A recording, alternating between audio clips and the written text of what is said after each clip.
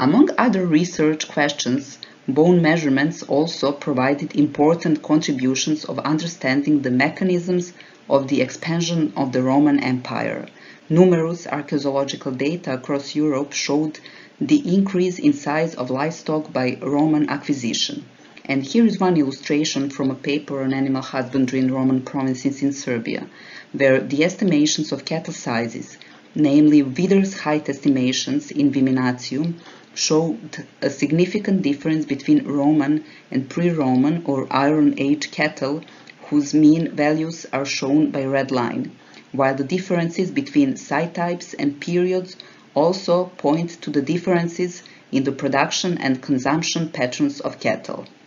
As you might notice, the remains of bigger or improved cattle are dominant in rural area close to the city, which points to the rearing of larger and improved animals in city surroundings probably for urban and military markets.